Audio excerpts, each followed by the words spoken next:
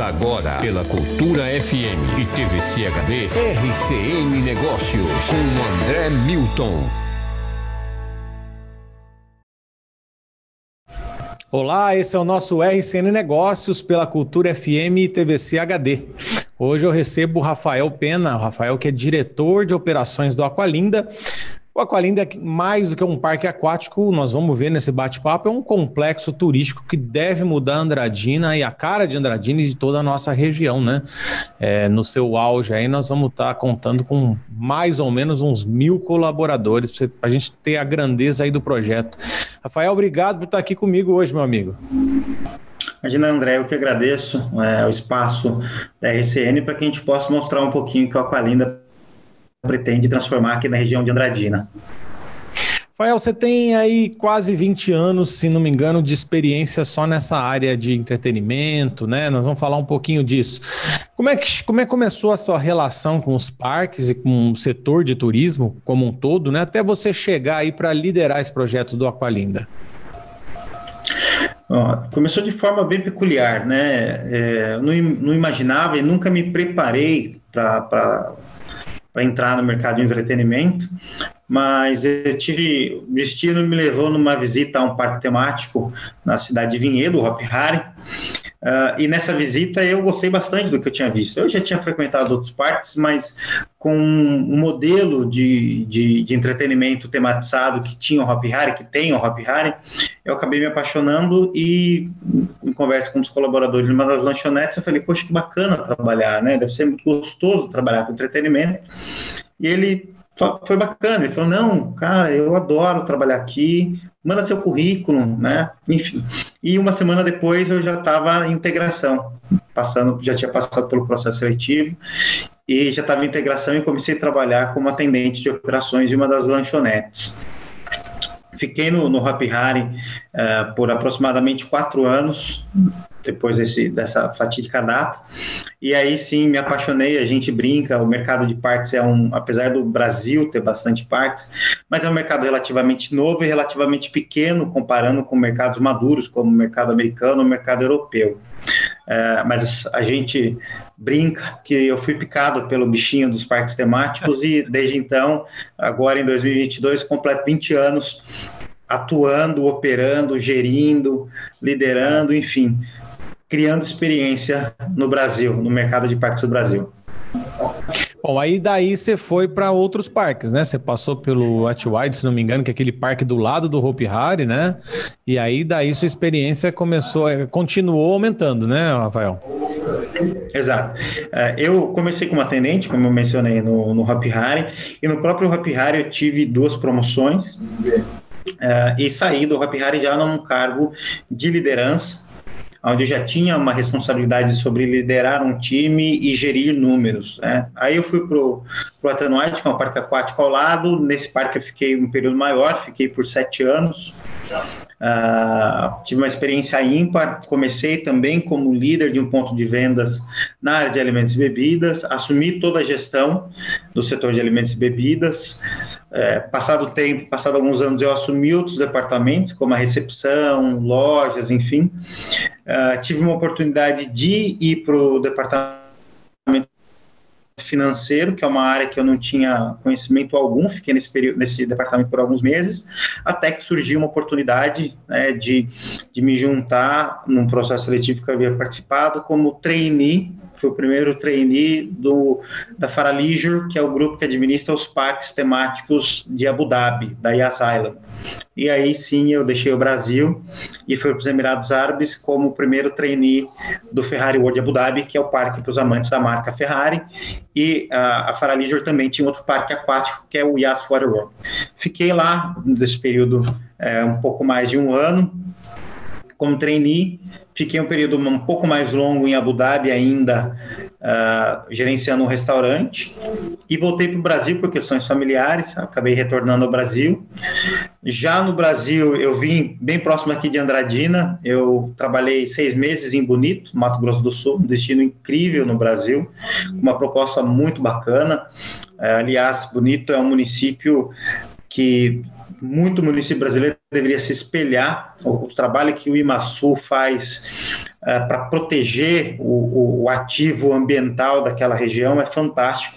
Quem não sabe pode se inteirar, é, é ímpar. Uh, fiquei lá seis meses num, num, num projeto chamado Ecoparque Porto da Ilha, e fui convidado para vir para Olímpia, também aqui próximo de Andradina, mais ou menos 300 quilômetros, para me juntar num projeto que num parque aquático que iria abrir, que abriu, que é o Hot Beach, o segundo parque aquático de Olímpia. Fiquei lá por um período como gerente da recepção, saí da recepção, passei um período com um gerente de relacionamento com os investidores, até que eu fui convidado para assumir a gestão completa do parque como gerente geral e fiquei até que houve o convite do Mário Celso para vir aqui para Andradina, onde eu estou e pretendo ficar por um bom tempo. Que bom, que jóia, que, que trajetória interessante. Com certeza, cada uma dessas passagens te deu uma visão de um setor do negócio é, e essa experiência internacional também, com certeza, é, agregou muito nesse projeto. Nós vamos falar aí no decorrer da entrevista. O, o, Rafael, dos 10 maiores parques aquáticos da América Latina, eu pude aqui dar uma pesquisada, até tinha falado isso na entrevista com o Mário Celso, seis são brasileiros, e não sei se dos 10 ou 20 aquáticos, né, do mundo, também tem dois brasileiros. São oito novos parques aquáticos sendo construídos nesse momento, né? É um mercado realmente diferenciado, eu me impressionei, não sabia desses números.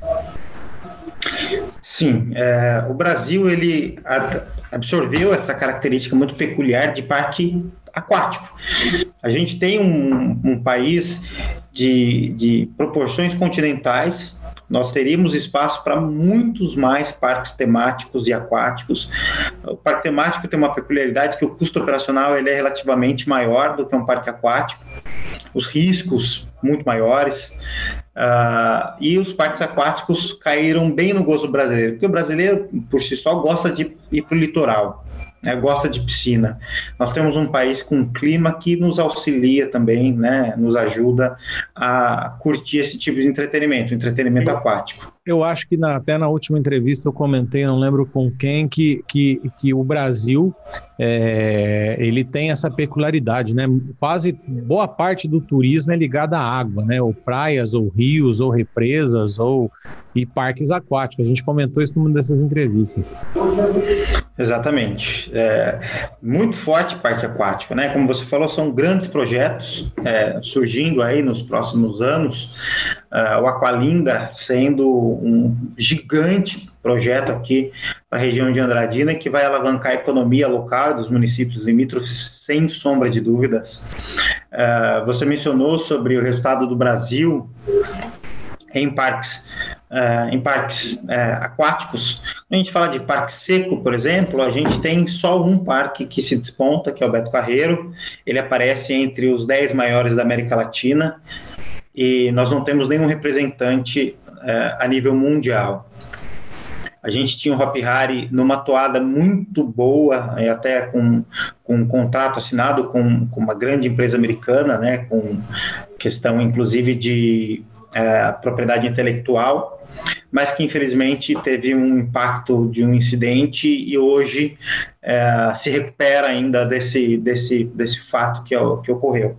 Já falando de parques aquáticos, a gente tem, como eu te falei, o brasileiro gosta de piscina, o brasileiro gosta de praia, e os parques aquáticos eles trazem isso exatamente. Os, os nossos visitantes aqui do Aqualinda, eles vão ter piscina, mas eles também vão ter uma praia com ondas e com areia fofinha e branquinha, e além de tudo com água quente. Né? Então, ele vai ter a segurança de, estar num ambiente controlado, ele vai ter a tranquilidade de não se preocupar, por exemplo, com a, a qualidade da água. Né? A gente vai ter um sistema que automatizado para garantir a qualidade e a sanidade da água. Então, é isso que tem agradado. E aí nós temos, eu, um dos projetos que, que eu operei, que eu fui gerente geral, nós figuramos né, em 2018 como o décimo parque aquático mais visitado da América Latina e em 2019 como o nono parque aquático mais visitado da América Latina, baseado em visitação. Tá? Esse, esse índice ele, ele foca na quantidade de visitantes que acessaram o, o complexo. Uh, e o Aqualinda chega para balançar isso.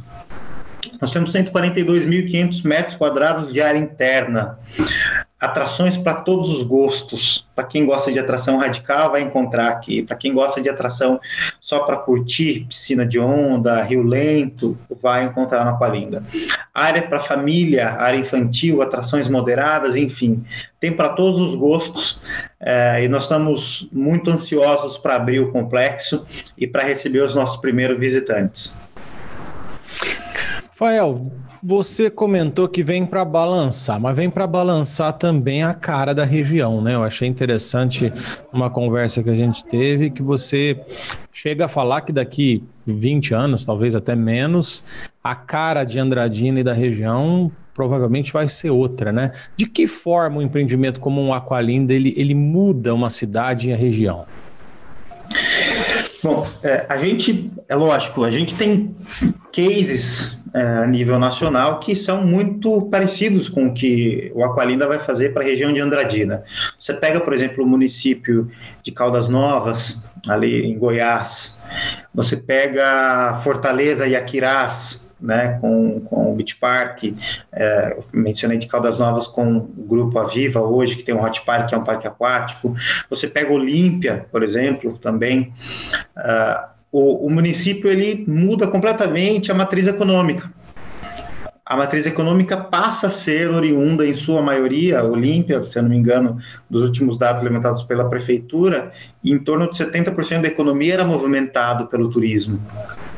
E aí é um dinheiro que ele não está só circulando internamente. Você fala um município que não depende ou que não explora o turismo, ele se beneficia, a economia é da, do, enfim, dos comércios locais. Às vezes tem empresas multinacionais ou empresas que têm um, uma envergadura de atender um a nível nacional. Um pouco do agronegócio. Agronegócio. Aqui, aqui na região nós temos grandes empresas que, que, que, trazem dinheiro de outros estados, mas não como turismo.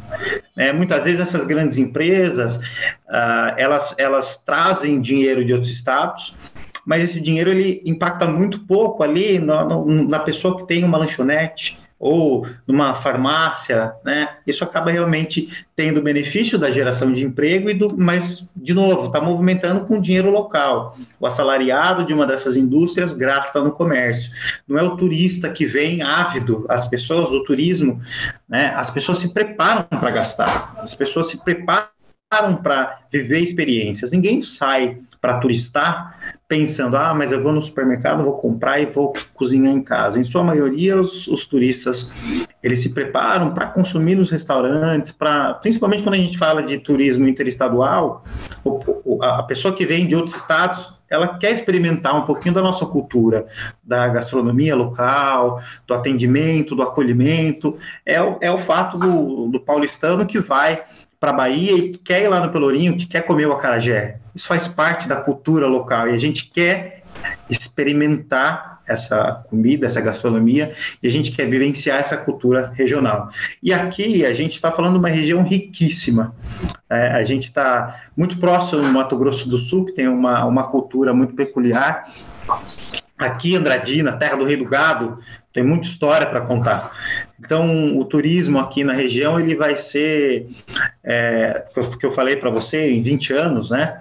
20 anos, quem viveu esse crescimento e que olhar para trás não vai reconhecer a nova Andradina, a nova região com fomento do turismo. A gente fala de muitos prédios, muitos hotéis, muitos resorts, porque o parque como a Aqualinda, que tem a capacidade de receber até 15 mil visitantes por dia, ele vai possibilitar que empresários regionais, que empresários de outras regiões do Brasil invistam aqui na nossa região, gerem empregos e que tragam desenvolvimento. É, e, e, assim, é um impacto realmente que a gente imagina que vai ser é, é oportunidades inimagináveis, né? Vão surgir é, é, opções de restaurantes. O turista ele ele não quer só ir ao parque, ele quer conhecer a região, ele quer conhecer o que também Andradina tem de belezas naturais, né? Então é, é um impacto que realmente quem viver verá. É, Rafael, Que lições você diz que Andradina e a região precisariam aprender com esses cases que você acabou de, de citar aqui? O que, que a gente pode fazer que talvez não foi feito nas outras regiões para aproveitar esse, essa oportunidade que está chegando aí para nós? É, eu diria que, primeiro, né, falando de lição, a principal lição eu acredito que seja atendimento. Ninguém gosta de ser mal atendido, ninguém volta.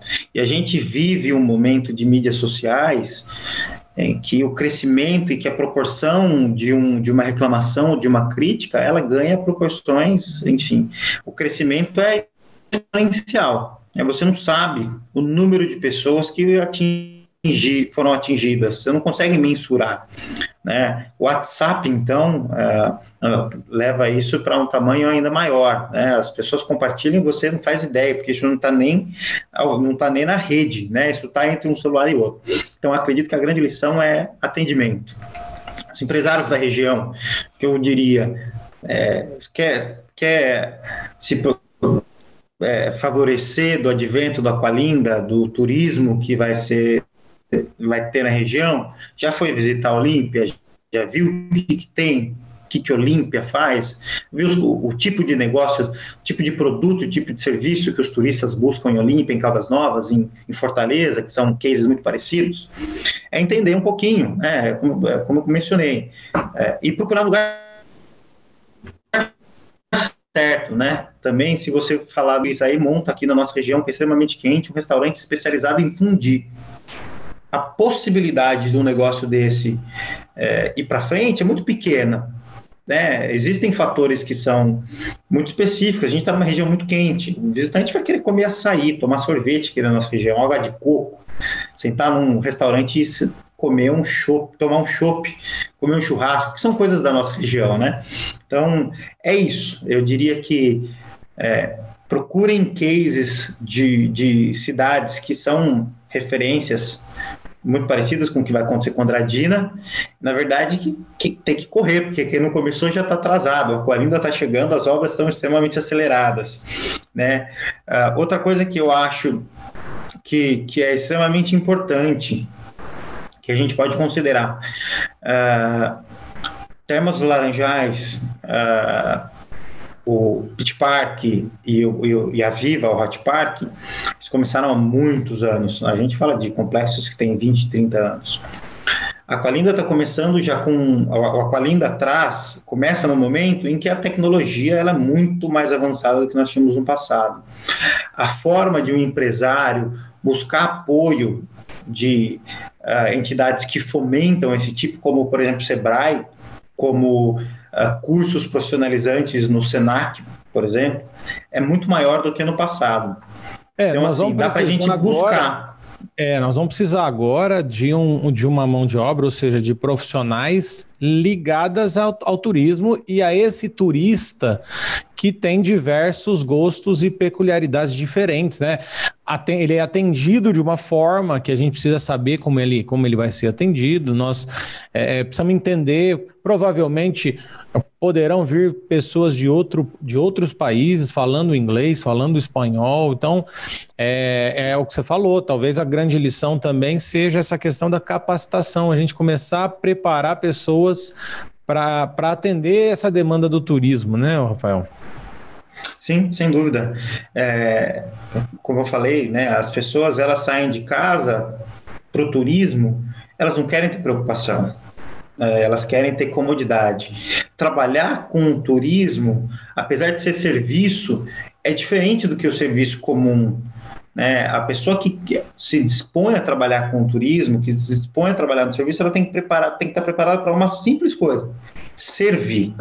Quem não gosta de servir, quem não gosta de, de olhar um prato que vai colocar numa mesa e sentir gosto, aquela pessoa que cozinha, por exemplo, falando da, da brigada, que é a minha origem, eu comecei em alimentos e bebidas, eu fiquei 12 anos exclusivos em alimentos e bebidas. É, a gente menospreza ou a gente sente talvez um menosprezo por funções menores. Eu comecei lavando prato, foi minha primeira função no, no Hop Hire, eu lavava pratos e equipamentos. É, eu me lembro de uma, de uma palestra que eu assisti naquela época, de um, de um palestrante chamado Daniel Godry, ele menciona, né?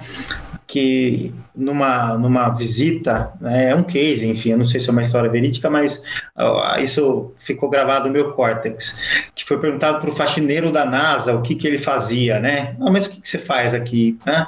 Imaginava que ele fosse falar, não, eu tiro lixo, ou varro o chão. Ele falou, não, estou levando o homem à lua porque é exatamente esse o espírito. Não importa se você está limpando o banheiro, não importa se você está produzindo um alimento, não importa se você é guarda-vidas, você está lá para garantir a entrega de uma experiência linda, incrível e, acima de tudo, segura.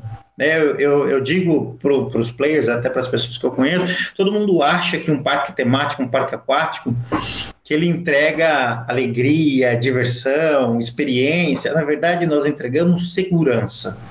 Não importa se o visitante ele sai com uma impressão boa ou ruim do negócio. Importa se ele passa o dia ele sai seguro. O restante você não tem não tem finalidade nenhuma se o visitante sai de, assim, marcado, a experiência dele é incrível, mas ele não sabe, ele correu o risco o dia inteiro. Então, a segurança é o nosso principal produto e a gente envelopa a segurança com diversão, com experiência. Tanto que o Aqualinda tem alguns alicerces e o principal alicerce é a segurança. Aqui o nosso visitante vai se sentir seguro o tempo todo, seja nas piscinas, com os nossos guarda-vidas, nas nossas estruturas que foram feitas com o que tem de melhor, mobiliário que tem de melhor. É, a segurança, ela é um produto fantástico no entretenimento. E é lógico, as pessoas precisam absorver, porque a segurança não é um negócio que a empresa é, ela implementa de cima para baixo, pelo contrário, a segurança ela está em toda a equipe e, e é, é, esse caminho é completamente inverso. Não adianta a empresa tentar implantar segurança se as pessoas não tiverem a segurança dentro delas. A segurança vem dentro da gente. Lembro, recentemente eu tive numa, fui fazer uma visita técnica numa cozinha e eu, como eu te falei, mencionei, é, como eu mencionei, eu trabalhei 12 anos em alimentos e bebidas, então eu, eu cheguei para entrar e falei, poxa, eu preciso de uma, de uma redinha para entrar na tua cozinha. Daí a pessoa falou, não, tranquilo, não estão manipulando, pode ficar, né, pode entrar. Eu falei, não, essa, a, a necessidade de utilizar a redinha não está dentro da sua cozinha, ela está dentro de mim né? Então essa essa regra ela está em mim, não está não tá necessariamente no que você está necessitando, no que você está me pedindo. Eu não consigo entrar, vou, não vou conseguir focar no que a gente está fazendo porque eu vou ficar desconfortável em não estar entrando de forma segura na sua cozinha. Amanhã ou depois pode ser que um cabelo meu que tenha caído agora voe e vá parar num lanche seu e vai parar no cliente que vai ter uma experiência negativa.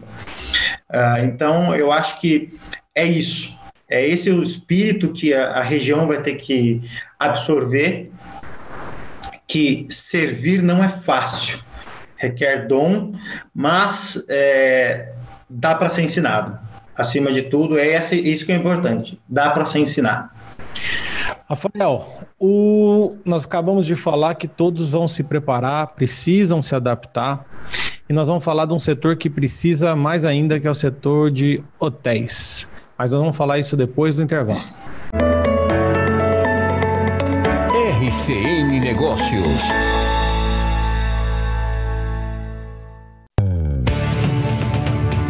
jpnews.com.br O portal da nossa cidade. Esse é de Três Lagoas.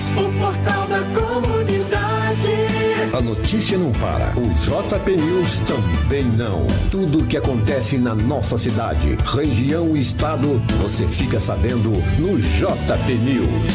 JP News. Sempre ligado. Se cuida, tá? Ouvir isso de alguém é saber que essa pessoa se preocupa com você. Se cuida pode estar em um gesto, pode estar em um olhar, em um hábito ou simplesmente em uma compra que movimenta a economia local.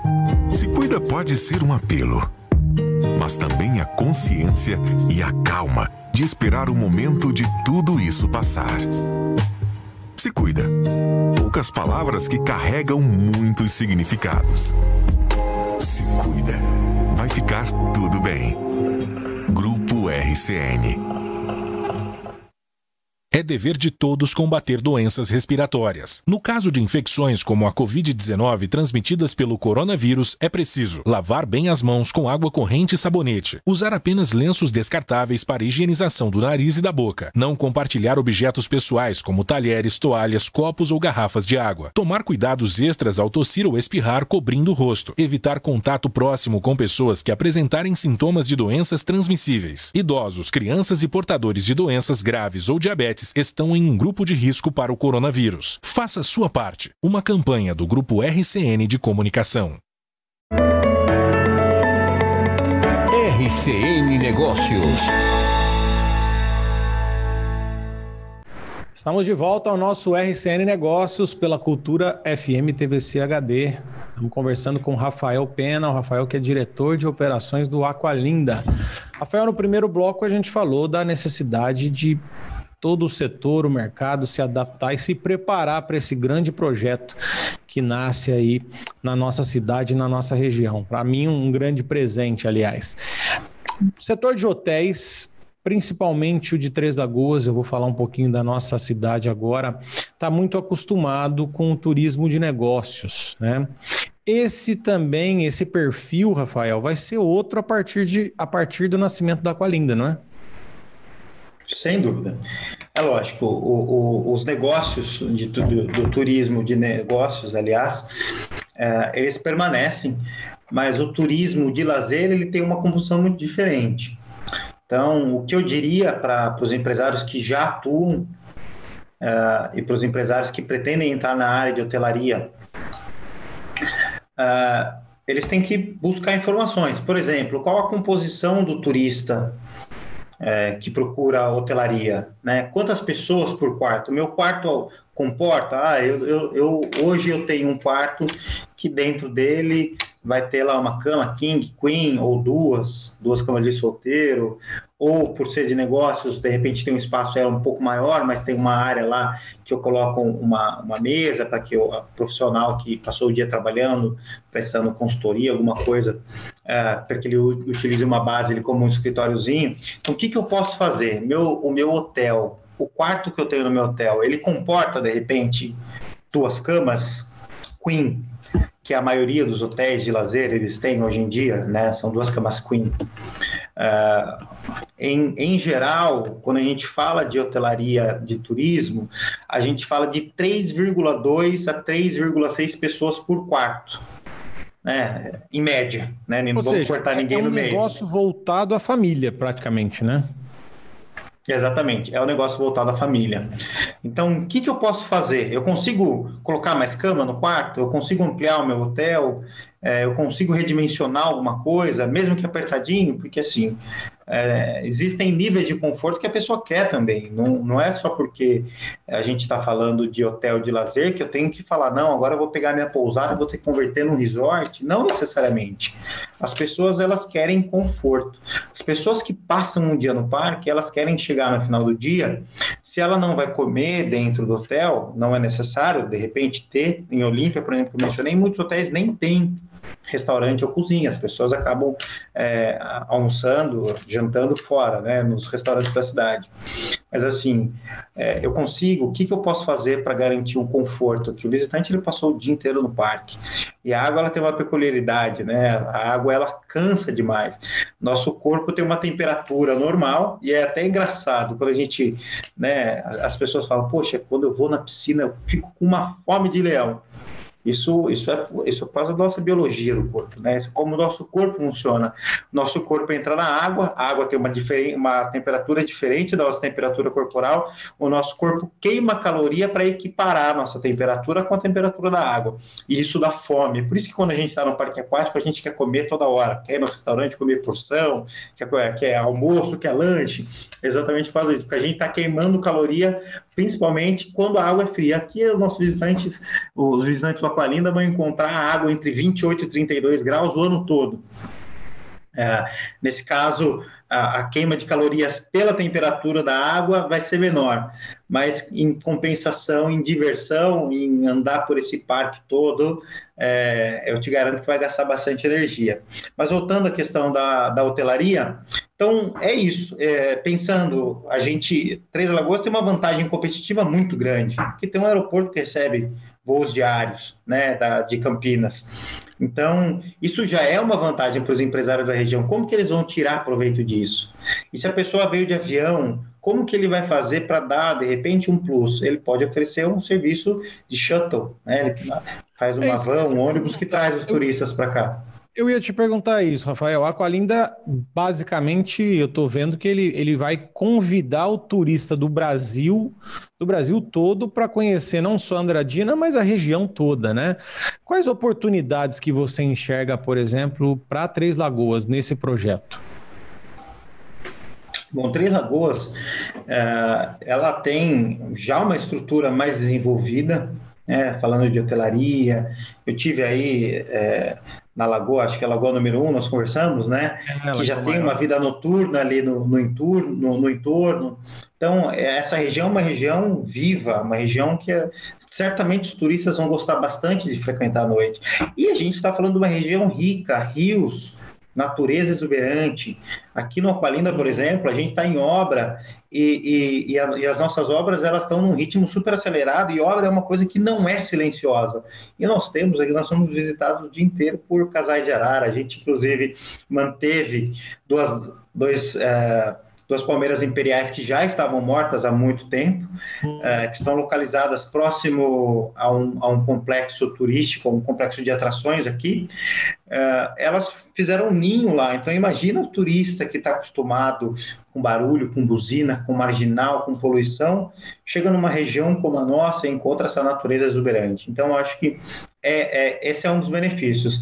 É, eu recentemente tomei conhecimento até de um aqui entre é, Andradina e Araçatuba, tem um restaurante que tem um, quatro, se não me engano, quatro chalés que são incríveis, lindos. Então, é, é muita coisa para fazer. É, falando, de repente, as agências de viagem, a gente está próximo do Pantanal, a gente está próximo do, do, da, da, região de Bonito, Jardim, Bodoquena, que tem uma beleza incrível. E isso chega até a gente, né? Como eu falei, aqui em Andradina a gente já pode ver isso, em Três Lagoas pode ver isso. A gente tem o rio passando aí.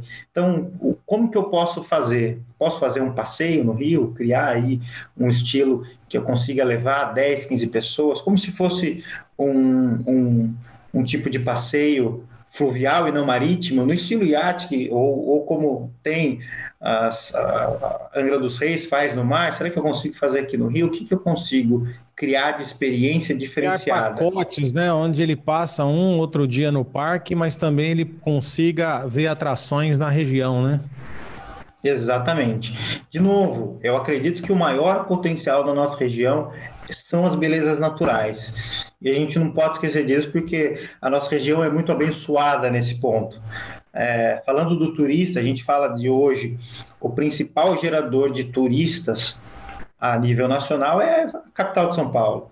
É, é, isso a gente pode ver nesses três destinos que eu te falei: Olímpia, Fortaleza e Caldas Novas o maior número de visitantes é da capital, e quando fala do estado de São Paulo, para as regiões da, da, de Fortaleza e de Rio Quente, mais ainda. É, mas essas pessoas procuram exatamente sair desse do que elas encontram na cidade de São Paulo, e que aqui é totalmente diferente. Então, o que, que eu consigo é, entregar de experiência é, fugindo do que eles do que eles estão, né, para suprir o que eles estão fugindo da capital. Você citou a questão do aeroporto, então é, é eu, eu, eu é, não é errado eu pensar que o turista pode vir ao aeroporto, ele pode dormir também em Três Lagoas, né? ou seja, fazer sua refeição nos restaurantes de Três Lagoas e no dia seguinte, por exemplo, seguir para o parque. É, é, essa demanda ela não vai ser só de Andradina, é aqui que eu quero chegar, que o empresário de Três Lagoas também vai poder é, surfar nessa oportunidade, né, Rafael? Não, isso é, é mais do que certo. Né? E aí, é, como eu te falei, fica o dever de casa para os empresários de, de Três Lagoas. Como que eu vou fazer sendo que eu não estou no mesmo município, eu não estou em Andradina. Então, o que, que eu posso fazer para que esse turista que quer vir no Aqualinda, que ele se interesse por Três Lagoas? Hotelaria, como eu falei, hotelaria, a gente já tem uma hotelaria mais desenvolvida em Três Lagoas, já é uma vantagem. O aeroporto está aí, é uma segunda vantagem.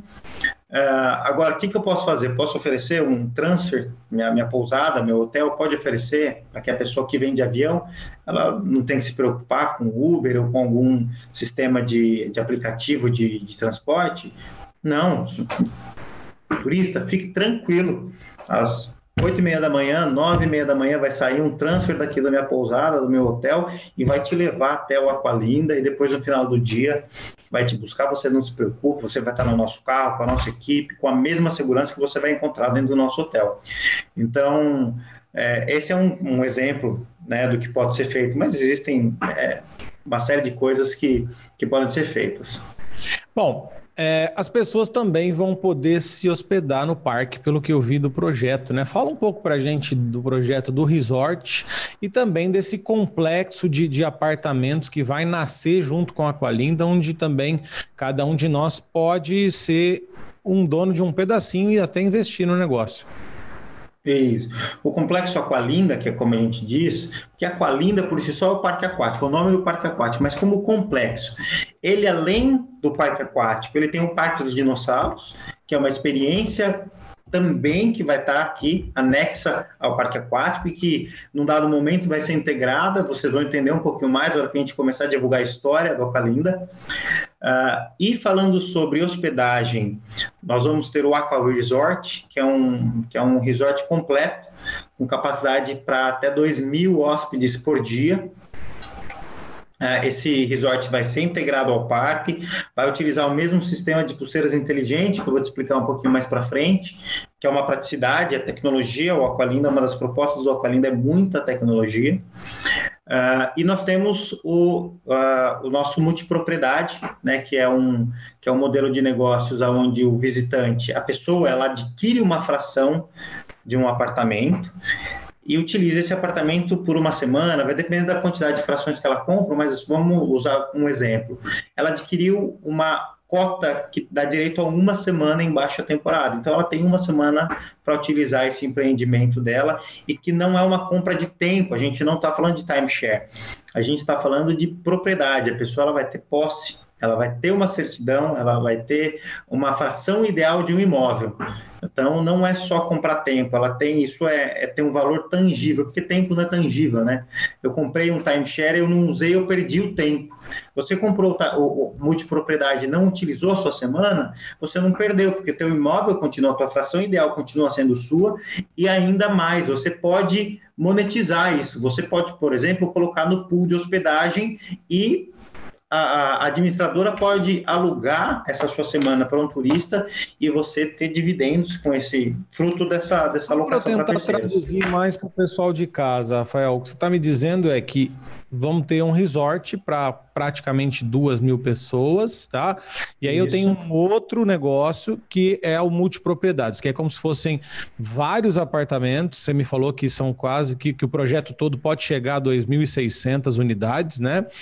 E nesses apartamentos, é, o projeto vai abrir para que você possa comprar um, uma pequena cota desse apartamento e ter aí, dependendo do negócio que você fizer, direito a algumas semanas dentro é, para utilizar esse lugar. Mas se você não utilizar, você pode até ser remunerado de alguma forma para que isso seja utilizado por alguém, como se fosse para aluguel para outros hóspedes, né? Então, é, e, e, você passa a não só ter direito ao ter essa semana, mas você tem um pedacinho disso como um imóvel mesmo, uma fração dele. Se ele valorizar, se um dia você quiser vender o teu pedaço, é isso aí, né?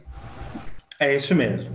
É, tem algumas peculiaridades, como eu te falei. A primeira peculiaridade muito importante é que não é um apartamento simples.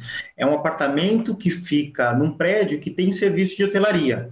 Então, apesar de ser um apartamento em sua composição, com quarto, com, com uma mini cozinha, ele vai ter serviço de limpeza de quarto, ele vai ter serviço de recepção. Então, você vai ter uma praticidade muito maior. Tem serviço embutido nisso. Uh, o, o Riviera de Gran Lagoon, que como nós chamamos, né, Vila de Mediterrâneo, ele vai ser dividido em três fases. A primeira fase é a Riviera de Itália, que vai ter em sua composição prédios com apartamentos que vão poder acomodar seis, oito e até dez pessoas. Por que, que nós falamos até 2.600 apartamentos? Porque vai depender da demanda. Pode ser que a gente tenha uma demanda muito grande de pessoas que querem comprar uma cota num apartamento de 10, é, acomodação para 10 pessoas. Ou pode ser que não, pode ser que a demanda maior seja um apartamento que acomode até 6 pessoas. Então, isso, isso vai acabar mudando, né, de acordo com a demanda. O Riviera e Gran Lagoon vai ser composto é, de acordo com, com essa demanda que a gente for criando, mas vai ser um negócio incrível. É, a Riviera de Gran Lagoon, esse complexo de, de prédios, é, eles circundam um, uma grande piscina em formato de coração, com capacidade de realização, inclusive de esportes náuticos. É, a pessoa vai poder velejar nesse, nessa, nessa, nesse espelho d'água né, que nós vamos ter no meio. Então é uma coisa incrível, é um negócio que ele é muito marcante na, na, no desenvolvimento de parques aquáticos no Brasil, porque é, um, é uma parceria muito boa porque você cria a âncora, que é o parque aquático ou parque temático, que vai te gerar o interesse em visitar aquela região, e aí você cria uh, hotéis e o multipropriedade que vai te garantir que essa âncora tenha visitação o ano todo. Rafael, e a estrutura do parque em si, assim, quais são os principais pontos assim que você acha que ele é realmente diferente? E parece até pelo que você disse que a tecnologia vai ser o ponto forte dele, né? Isso. Uh, bom, como eu te falei, o parque ele nasce completo para atrações para toda a família, para quem quer atração radical, para quem quer atração familiar, para quem quer atração só de relaxamento, quer passar um dia tranquilo, tomar o sol na praia. Então o parque ele já nasce completo.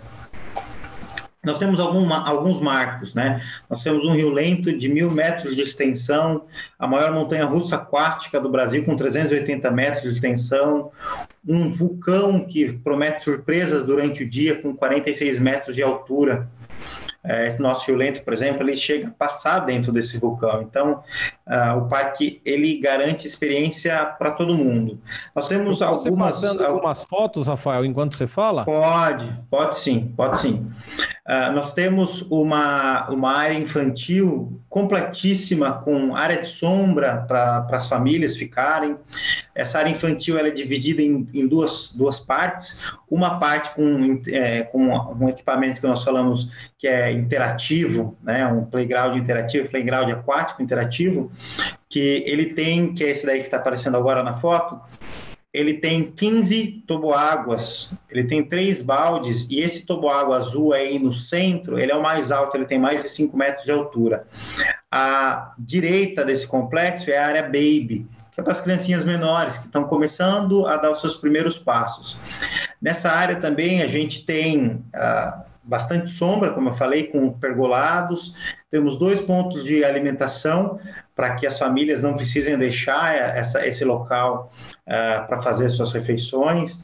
Nós temos um vestiário focado na família, que vai ter fraldário, vai ter uma área, a copinha da mamãe, uma área específica para as mamães que quiserem um pouco de privacidade amamentarem seus filhos uh, um vestiário adaptado para as crianças, né, com vasos sanitários mais baixinhos, chuveiros mais baixinhos.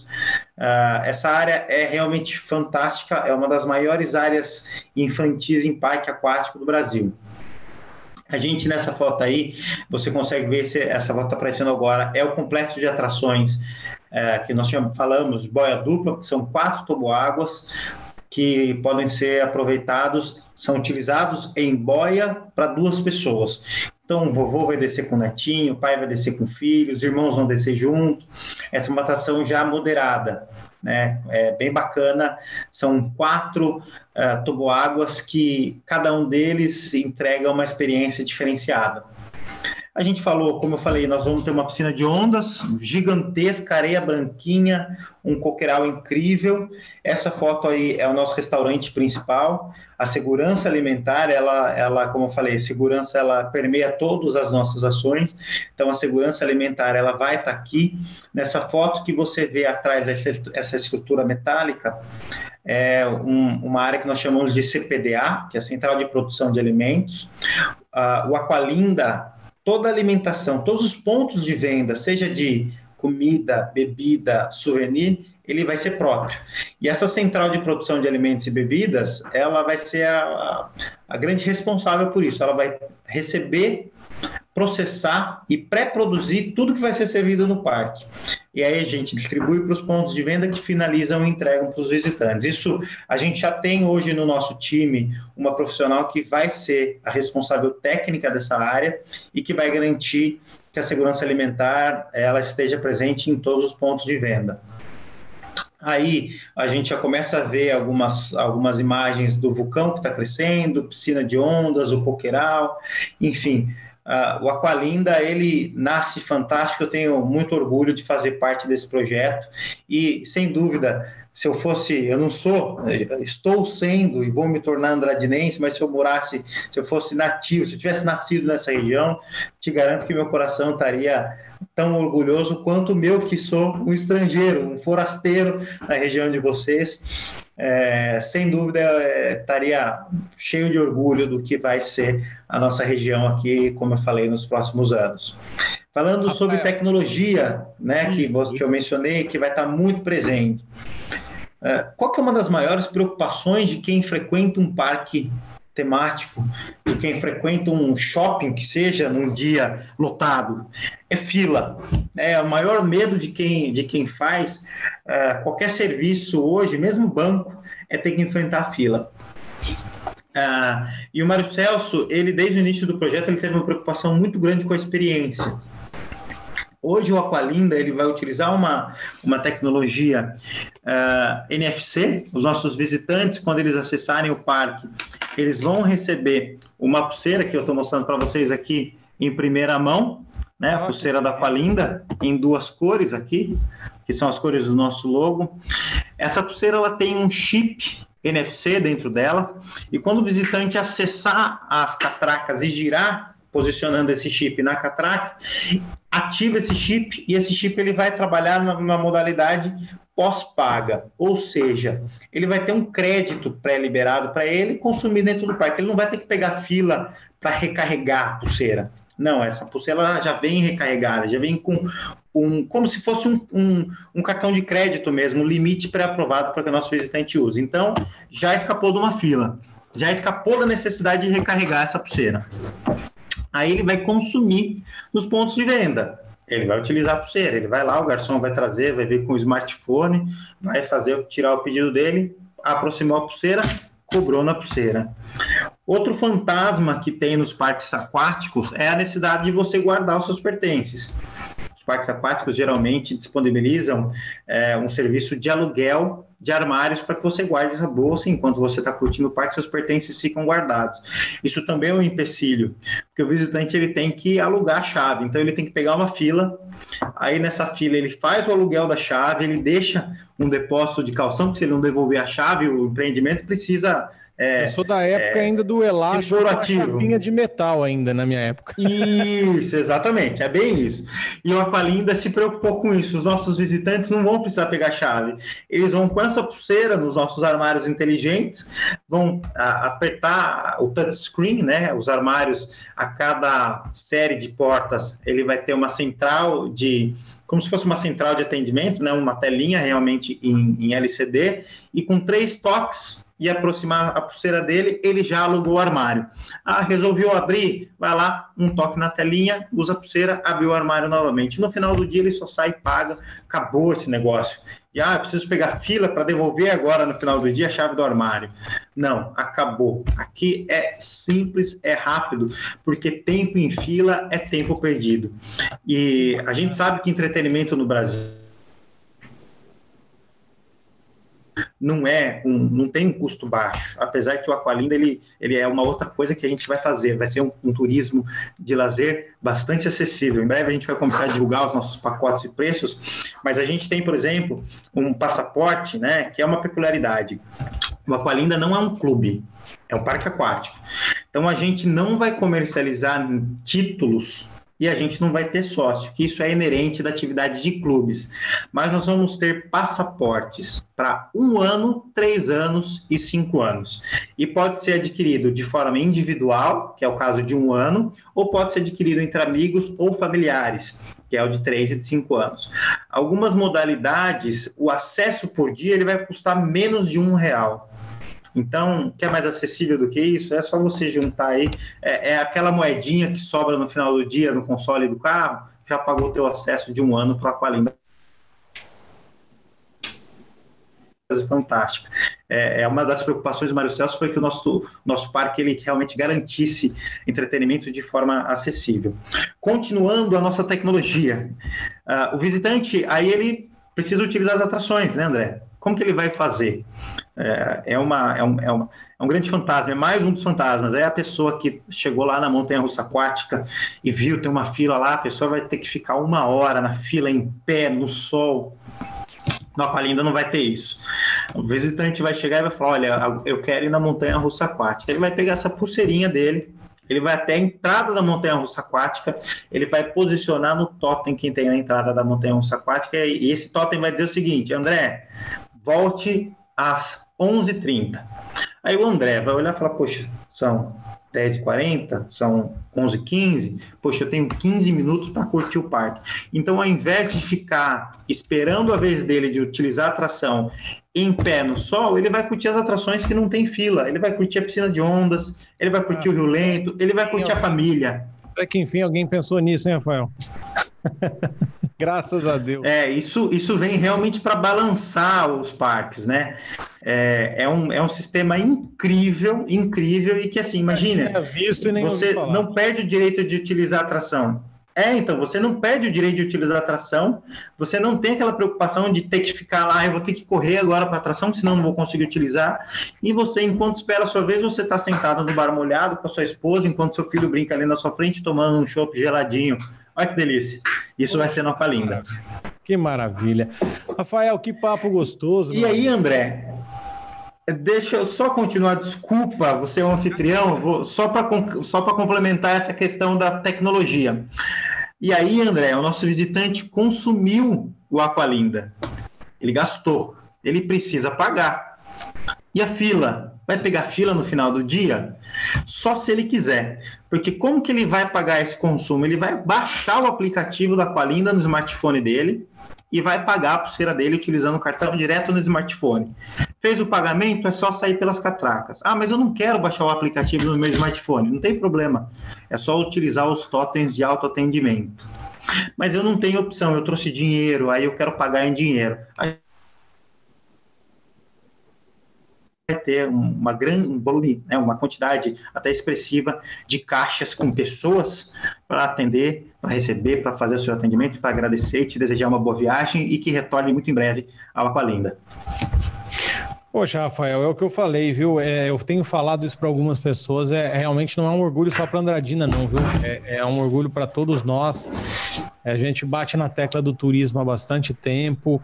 É, um, é, um, é uma economia que emprega muito, que traz muitas divisas, que muda a cara de regiões.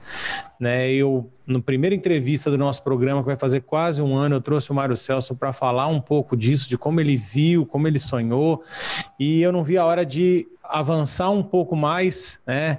Eu já estava até achando que o parque ia chegar mais, é, ia ficar pronto primeiro do que a, a, nossa conversa, graças a Deus deu tempo, que nós até o fim do ano, pelo que eu tenho ouvido, as obras e, os, e, e o parque vai estar pronto, né, para aí vocês é, analisarem quando é que vocês vão fazer essa inauguração com segurança por conta da pandemia.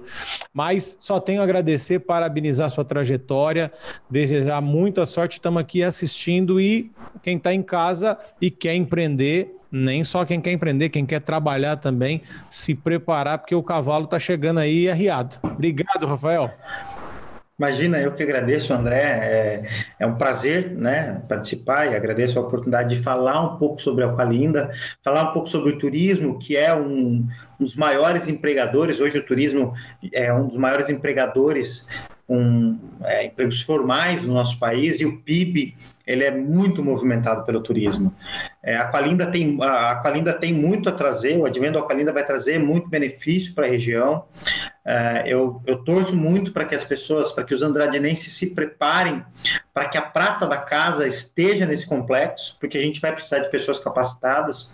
É, enfim, e, e, agradecer de novo, né? O, o, e só complementar uma, uma, um ponto muito importante do Aqualinda que eu não mencionei, que eu não poderia deixar de mencionar. O Aqualinda é um parque que vai nascer preparado para receber pessoas com autismo. Nós vamos ter uma quiet room, que é uma sala de desaceleração, para quando as pessoas com autismo tiverem uma necessidade de procurar um conforto, caso haja uma desorganização, que é como a gente chama, elas vão ter a quiet room dentro do parque e a família vai poder levar essa criança, esse adulto lá, para que ele possa desacelerar. Também vai ter dentro do parque para quem quiser é, e caso a, a, sensibilidade sensorial dessa pessoa com autismo seja, por exemplo, ruído, ela vai poder ter abafadores de som, ela vai retirar aqui no parque. Isso tudo para que a gente seja 100% acessível a todos e que seja democrático e que tenha equidade. Essa é a missão nos dada pelo Mário Celso e que a gente, com muito prazer, absorveu e vai entregar aqui para região de Andradina, e como a gente falou, né, o Aqualinda ele nasce, né, não é para ser regional, ele nasce para ser um gigante do turismo nacional, que está logo, logo, a gente vai andar nos restaurantes e hotéis aqui da região e a gente vai ouvir nosso povo falando inglês, francês, espanhol. É, é, é isso que eu torço e é isso que eu espero e com certeza Mário Celso fez já pensando nisso. A gente também não vê a hora. Um grande abraço a você, ao Mário. É, e ficamos por aqui. Obrigado, Rafael. Obrigado, obrigado, um abraço. O nosso RCN Negócios fica por aqui. Espero você no próximo sábado com mais um convidado. Até lá.